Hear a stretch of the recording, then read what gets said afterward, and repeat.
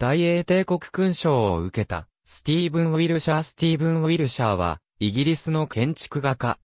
一度見ただけで風景を目に焼き付ける、映像記憶ができることで知られ、炎に包まれるセントポール大聖堂のような、空想的な作品も手掛けているが、世界中で人気を集めている画家の一人である。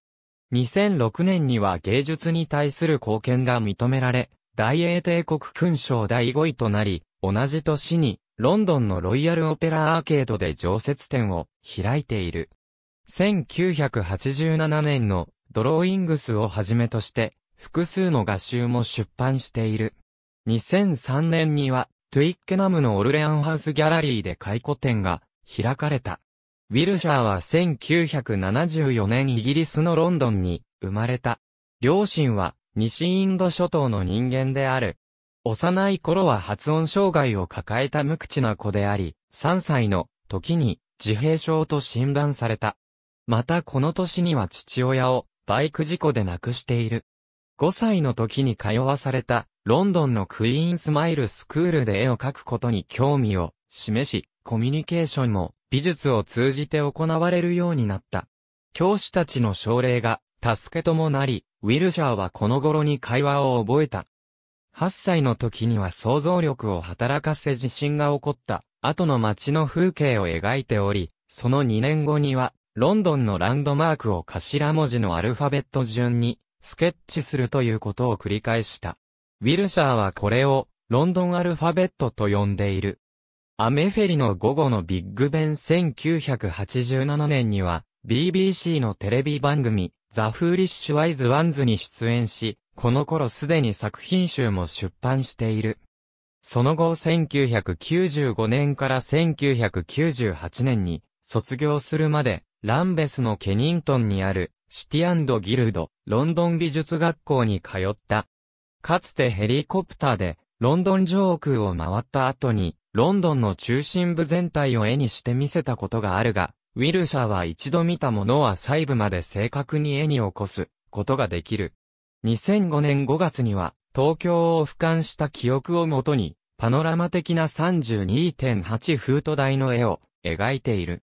これは過去最大の作品で、東京をヘリコプターで飛んだ直後に描かれたものである。同様の試みは、ローマ、香港、フランクフルト、マドリードでも行われている。ドバイ、エルサレム、ロンドンなどの都市も巨大なカンバスに再現された。ローマ上空をヘリコプターで飛んだ時には、パンテオンの柱の数までわかる、極めて精緻な絵を描いている。2009年10月、ウィルシャーは、パノラマシリーズの区切りとして、心の祖国であるニューヨークの記憶を18、フート台の絵として完成させた。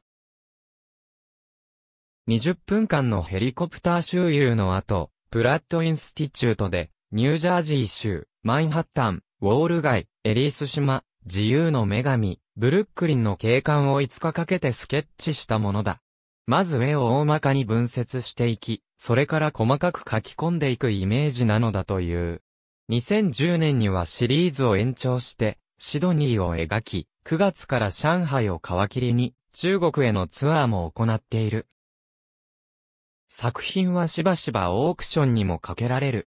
2010年には、ウィルシャー自身が、バミューダナショナルギャラリーを訪れて、ハミルトンを題材にした自分の作品を競売に出し、オークションハウスの記録を更新した。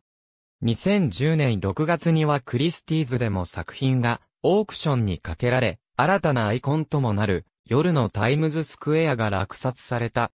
2011年には記憶をもとにニューヨークを250フィートのパノラマで描くというプロジェクトを行っており、作品はジョン・ F・ ケネディ国際空港に巨大なビルボードとして展示された。これはスイスの UBS 銀行による我々はこのままでは終わらないをテーマにした国際的な広告キャンペーンの一環でもある。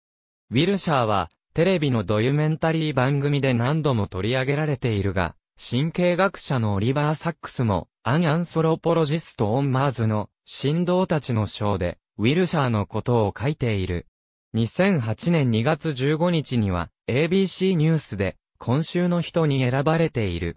翌年には初めてインデペンデント誌で詳細なインタビューが行われ、夢や希望、憧れや後悔などが語られている。2006年の大英帝国勲章に続き、2009年6月からイギリスのチルドレンズアートデーの大使として活動するとともに、2011年には建築イラストレーター協会の名誉会員になっている。ありがとうございます。